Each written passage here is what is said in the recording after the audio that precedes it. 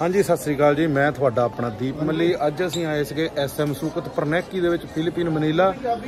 ਅੱਜ ਸਾਡੀ ਪੰਜਾਬੀ ਇੰਡਸਟਰੀ ਦੀ ਫਿਲਮ ਲੱਗਣ ਜਾ ਰਹੀ ਹੈ ਮਸਤਾਨੇ, ਜਿਹਦੇ ਵਿੱਚ ਸਾਡੇ ਤਰਸੇਮ ਬਾਈ ਨੇ ਬਹੁਤ ਵਧੀਆ ਰੋਲ ਕੀਤਾ। ਤੇ ਪੰਜਾਬੀ ਇੰਡਸਟਰੀ ਆ, ਪੰਜਾਬੀਆਂ ਦਾ ਮਾਣ ਆ। ਤੇ ਸਾਰੇ ਨੇ ਮੇਰੇ ਭਰਾਵਾਂ ਨੇ ਇਹ ਫਿਲਮ ਜ਼ਰੂਰ ਦੇਖਣ ਜਾਣੀ ਆ।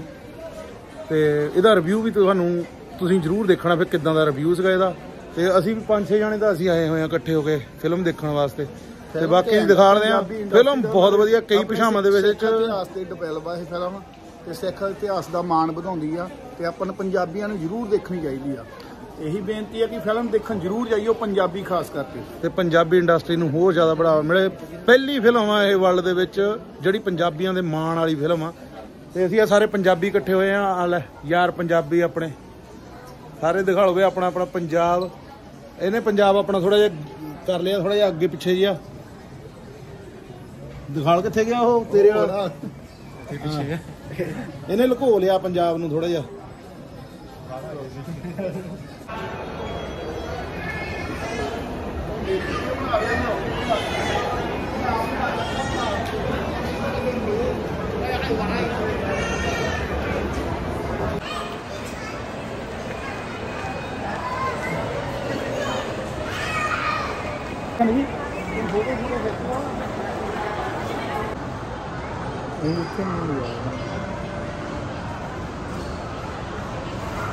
ਆਪਣਾ ਪੰਜਾਬ ਹੋਵੇ, ਸਾਡੇ ਕੋਲ ਆਪਣੀ ਘਰ ਦੀ ਸ਼ਰਾਬ ਹੋਵੇ।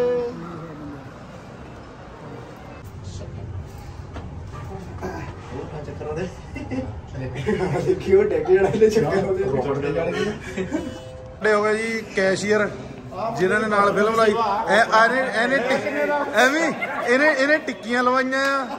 ਇਹ ਆ ਸਾਡਾ ਵੀਰ ਕੈਸ਼ੀਅਰ ਆ ਸਾਡਾ ਭਾਜੀ। ਸਾਡਾ ਮੈਂਟੂ ਭਾਜੀ। ਦਾ ਨਹੀਂ ਵਧਾਉਂਦੇ ਪਏ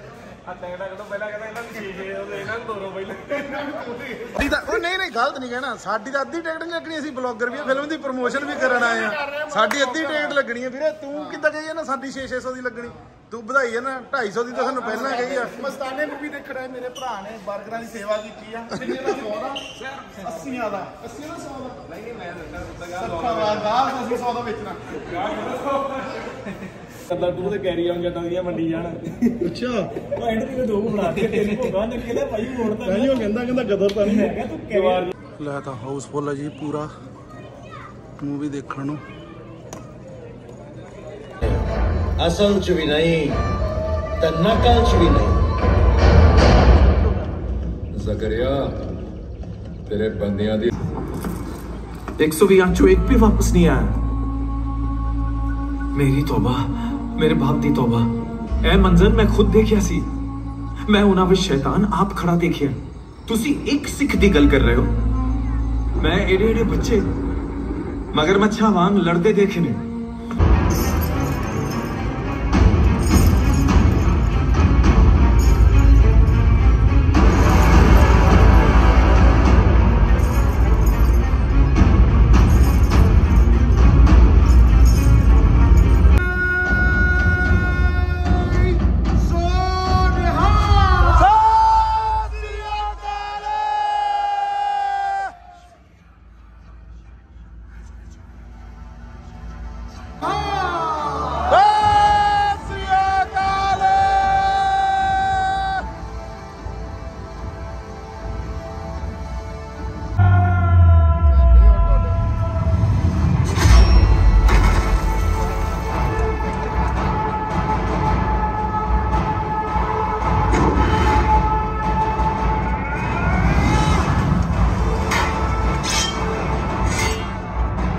ਮਾਂ ਅੱਗੇ ਝੁਕਣ ਨਹੀਂ ਦਿੱਤਾ।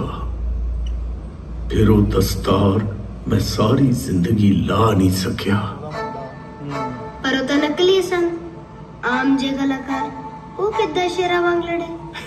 ਹੋਇਆ ਬਸ ਇਹ ਕਿ ਜਦੋਂ ਆਕਾਰ ਪੁਰਖ ਦੀ ਕਲਾ ਵਰਤਦੀ ਹੈ ਨਾ ਤਾਂ ਨਕਲੀ ਵੀ ਅਸਲੀ ਬਣ ਜਾਂਦੇ ਨੇ।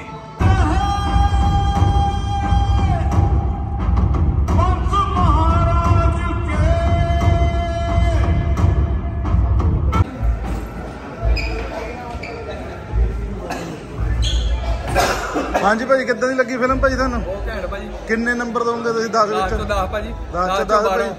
ਹਾਂਜੀ ਭਾਜੀ ਕਿੱਦਾਂ ਲੱਗੀ ਫਿਲਮ ਤੁਹਾਨੂੰ? ਬਹੁਤ ਵਧੀਆ ਫਿਲਮ ਸਾਰਿਆਂ ਨੂੰ ਜਾ ਕੇ ਦੇਖਣੀ ਚਾਹੀਦੀ ਆ।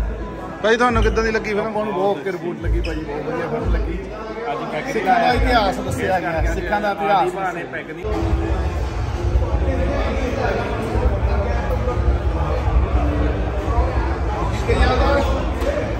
ਫਿਲਮ ਕਿੱਦਾਂ ਲੱਗੀ ਤੁਹਾਨੂੰ?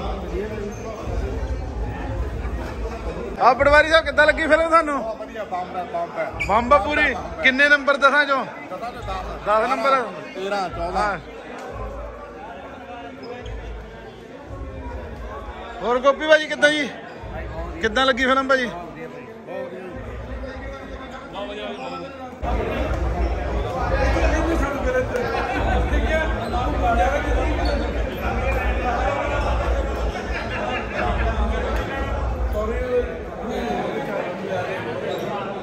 ਹਾਂਜੀ, ਸਤਿ ਸ੍ਰੀ ਅਕਾਲ ਜੀ। ਫਿਲਮ ਅਸੀਂ ਦੇਖ ਚੁੱਕੇ ਹਾਂ ਜੀ, ਮਸਤਾਨੇ। ਫਿਲਮ ਵਧੀਆ ਸੀਗੀ, ਬਹੁਤ ਵਧੀਆ ਕਿਰਦਾਰ ਸੀਗਾ, ਘੁੱਗੀ ਹੋਣਾ ਦਾ, ਜੱਸੜ ਭਾਜੀ ਹੋਣਾ ਦਾ। ਤੇ ਸਾਡੇ ਸਾਰੇ ਜਿੰਨੇ ਵੀ ਵਿੱਚ ਕਿਰਦਾਰ ਕੀਤੇ ਹੋਏ ਸੀਗੇ, ਬਹੁਤ ਵਧੀਆ। ਤੇ ਕਰਮਜੀਤ ਅਨਮੋਲ, ਉਹਦਾ ਵੀ ਬਹੁਤ ਵਧੀਆ ਕਿਰਦਾਰ ਸੀਗਾ। ਤੇ ਫਿਲਮ ਸਿੱਖਾਂ ਦੇ ਇਤਿਹਾਸ ਤੇ ਦਰਸਾਈ ਗਈ ਆ। ਇਹਨਾਂ ਦਾ ਜਿਵੇਂ ਕਿ ਦੱਸਿਆ ਗਿਆ ਐਂਡ ਦੇ ਵਿੱਚ ਲਾਸਟ ਦੇ ਵਿੱਚ ਦੱਸਿਆ ਸੀਗਾ ਕਿ ਮਹਾਰਾਜਾ ਰਣਜੀਤ ਸਿੰਘ ਜੀ ਦਾ ਜੋ ਰਾਜ ਆਇਆ ਸੀ, ਜਦੋਂ ਖਾਲਸਾ ਰਾਜ ਸਥਾਪਿਤ ਹੋਇਆ ਸੀਗਾ। ਤੇ ਸਿੱਖਾਂ, ਸਿੱਖ ਇਤਿਹਾਸ ਦੇ ਬਾਰੇ ਫਿਲਮ ਦਰਸਾਈ ਗਈ ਆ। ਸੋ ਉਮੀਦ ਕਰਦਾ ਸਾਰਿਆਂ ਨੂੰ ਪਸੰਦ ਆਊਗੀ ਤੇ ਆਪਣੇ ਆਪਣੇ ਰਿਵਿਊ ਜ਼ਰੂਰ ਦਿਓ, ਕਿਉਂਕਿ ਜਿੰਨਿਆਂ ਨੂੰ ਵੀ ਪੁੱਛਿਆ, ਸਾਰਿਆਂ ਨੇ ਕਿਹਾ ਫਿਲਮ ਬਹੁਤ ਵਧੀਆ ਲੱਗੀ, ਪਸੰਦ ਆਈ ਆ। ਕਮੈਂਟਾਂ ਦੇ ਵਿੱਚ ਜ਼ਰੂਰ ਦੱਸਿਓ ਕਿਸ ਤਰ੍ਹਾਂ ਦੀ ਮੂਵੀ ਲੱਗੀ। ਥੈਂਕ ਯੂ ਧੰਨਵਾਦ ਜੀ। ਸਤਿ ਸ੍ਰੀ ਅਕਾਲ, ਪੰਜਾਬੀ ਇੰਡਸਟਰੀ ਨੂੰ ਬੜਾਵਾ ਦੇਣ ਲਈ।